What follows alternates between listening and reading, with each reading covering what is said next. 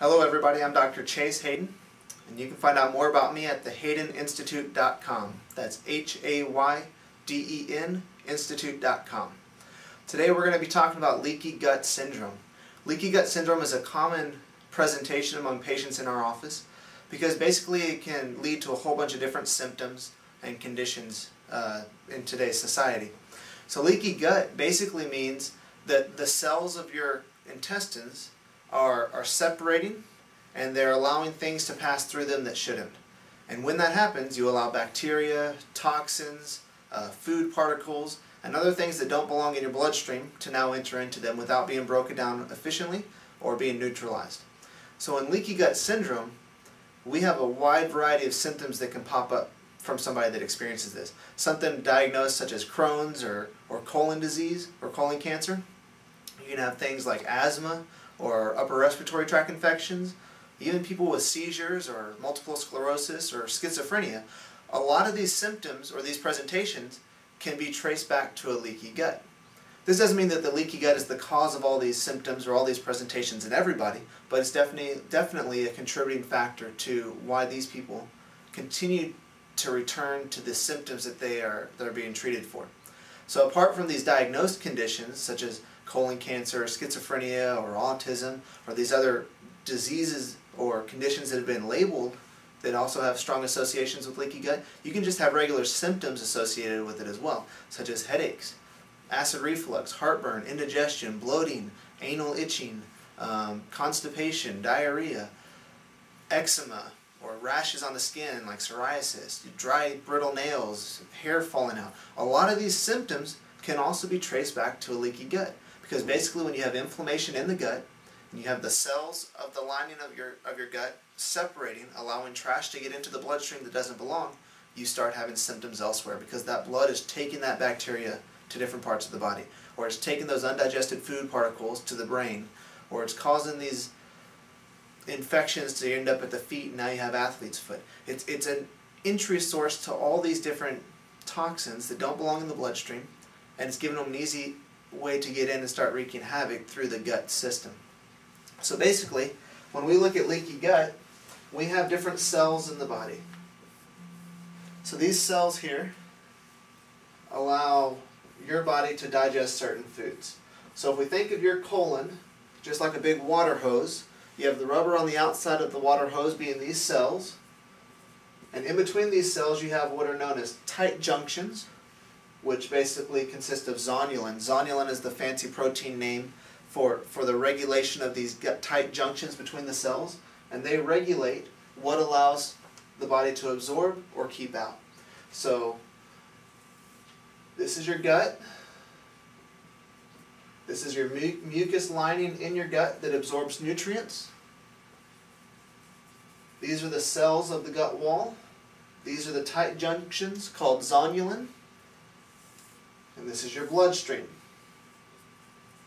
Now, what happens is when you consume food, it goes through your mouth, down into your stomach, goes into your intestines, starts getting broken down into vitamins and minerals and proteins and fatty acids. And they break them down really small so that eventually when they get here to the mucus lining of your gut, they can pass through to the cells and through to the tight junctions. And then the regulatory body there allows it to then pass through into the blood, so now you have vitamin C in your blood. Or now you have amino acids that are able to enter into the blood and go elsewhere and bind to hormones and whatnot. When this process gets broken down and you start having cells that are much wider apart from each other, things that normally would not pass through the gut lining or through the gut walls are now starting to enter in. So let's take things like bacteria. If you have a spirochete bacteria in your blood, such as Lyme's disease or syphilis, something like that, and now it's able to go through your gut, it passes through the tight junctions where zonulin is no longer working like it's supposed to because you have a big inflammatory process there. And now you have this spirochete enter into your bloodstream because you may have gotten it from just eating something or maybe you, you, you had old food that was left out and it started developing uh, a bacterial overgrowth. Even though traditionally spirochetes come from tick-borne infections, things of that nature. But anytime you have an infection that gets into the bloodstream through the digestion system, through these tight junctions, you now have this bacteria that's able to circulate through the blood. And it can be deposited elsewhere, such as the skin, or in the brain, or in the lungs, or in different parts of the body. See, when these zonulin cells are not regulating tight junctions like they should, you get bacterial infestations, or yeast infestations, or even parasites that can slip through the bloodstream and go, I mean, I'm sorry, through the food system, through the digestive tract, and into the bloodstream. This doesn't stop just there. You can also have large undigested food particles like gluten or casein. A lot of our patients that come in that have been diagnosed with autism are aware of the gluten sensitivity that they have, or the casein sensitivity that comes from dairy products. So therefore, if you have a leaky gut, and you're a child that has autism and food sensitivities, or someone that doesn't, like celiacs, and you still have these food sensitivities, the gut system is not able to regulate the tight junctions like it should because the zonulin is not working anymore. And now you have things like gluten that are able to pass into the system, or casein, or corn, or other food particles that go into the system in an undigested manner. And then you also can have toxins that come in this way as well, whether it's chemicals or metals or dyes, different things that you put into your mouth that should stay within the tube that comes from your mouth to the rectum and never get out, that now is having access into the rest of your body. So once these things get into your blood, they start going out to the rest of your body and start affecting other systems. See, in the colon, we have what is known as your gut-associated lymphoid tissue. It's called GALT, gut-associated lymphoid tissue.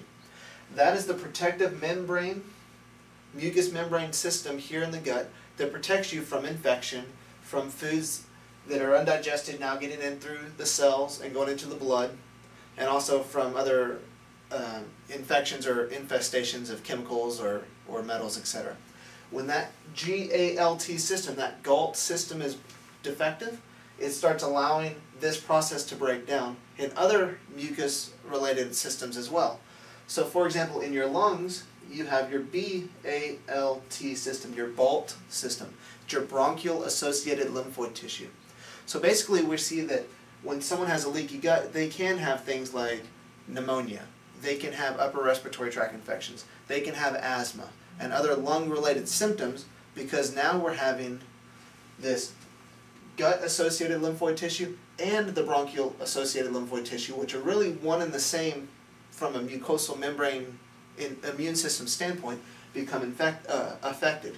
We can also have things like your SALT system, your skin-associated lymphoid tissue that becomes defective. And that's why we get the skin presentations like eczema, or psoriasis, or dry skin, or itchy skin, or even the hair that starts coming out, or the brittle nails. We can have the NALT system, the NALT-associated I mean, the nose-associated lymphoid tissue. That's where you start having the sinus infections and the headaches and the mucus buildup here where it becomes impacted and you start growing fungus or bacteria or molds inside the sinus cavities and you have to have surgery to get these out. So as we can see through this system, when the associated lymphoid tissue systems are disrupted, we now have easy access to a bunch of different parts of our body. And it doesn't stop just there. The blood-brain barrier is also a system that's regulated by tight junctions that should protect your brain from anything getting inside of it. But when the tight junctions are disrupted through the gut and through the lungs and through the sinus cavities and through the skin, it's safe to assume that that's also why the blood-brain barrier is becoming affected as well. And you can develop things like schizophrenia. It's how autism also has a gut-associated uh, parallel between the colon and the brain. You have people with Parkinson's, for example, where they're now, in Australia, there's a doctor doing studies where he's doing fecal transplants. Now, stay with me for a second. This guy is taking feces from healthy individuals and reimplanting them into his patients with Parkinson's, and he's noticing changes through tremors, through cognitive function, through facial expression, etc. Because of the, the association between your gut-associated lymphoid tissue and your blood-brain barrier. So as this doctor in Australia is now introducing good things back into the body, those good things are then going up and repairing other aspects as well, such as the blood-brain barrier. And he started to see changes with his Parkinsonian patients. So when we have symptoms, it doesn't always mean that that symptom is coming from the specific spot where we feel it. So just because I have something like asthma doesn't mean it's a lung problem. or pleurisy or Parkinson's or whatever the condition or symptom may be, it doesn't always mean it's a specific symptom to that area of the body. There can be far stretching or far implicating results from these different systems, such as the leaky gut that we're seeing here. So a leaky gut has an effect on many parts of the body, including the lungs, the brain, the skin, the digestive tract, the, the sinuses, and the other associated immune systems of the gut of the mucosal associated lymphoid tissue. So what do we do about this? We now know what a leaky gut does. We know how its effect on our body takes place. How do we test for it? How do we know if you have leaky gut, if I have leaky gut, or if your friend who's always complaining of symptoms has leaky gut? Well, the best way to, to screen for it is through a test that is performed by Metametrix. So Metametrix is a testing company that deals with a lot of different screening procedures for patients, whether it's stool samples or saliva samples, hair analysis, etc. But they have a stool sample that's called the GI effects panel. So the GI effects panel basically screens for leaky gut as well as infections and infestations such as bacteria, yeast, parasites, molds, etc. It checks to see if there are food sensitivities such as gluten and how the body is able to tolerate gluten. It, it checks for short chain fatty acid absorption, so how your body is able to absorb through the mucus lining, etc. And basically it puts all of this into one stool sample to give us a good idea as to how your body is functioning from a gut standpoint. See, if we have a leaky gut, and if we're uh, susceptible to infestations such as yeast or parasites, then there's going to be a wide variety of symptoms that may present. Just the other day I had a woman come in she is epileptic. She has grand mal seizures uh, frequently. She has bad distension problems in her gut. So every night she feels like she has real sore belly pains. It's, it starts to turn hard as a rock.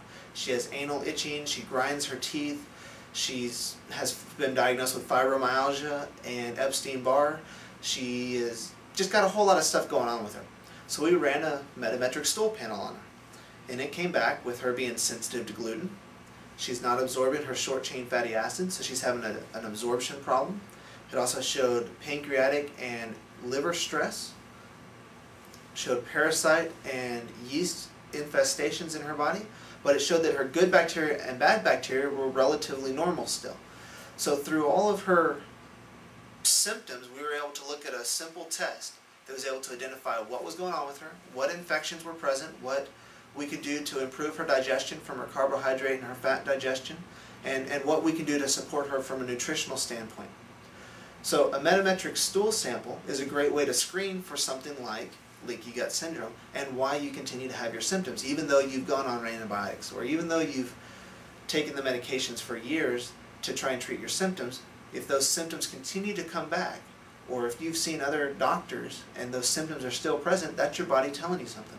So screening for leaky gut syndrome is a great way to look and see why you're having those symptoms and what you can do about it.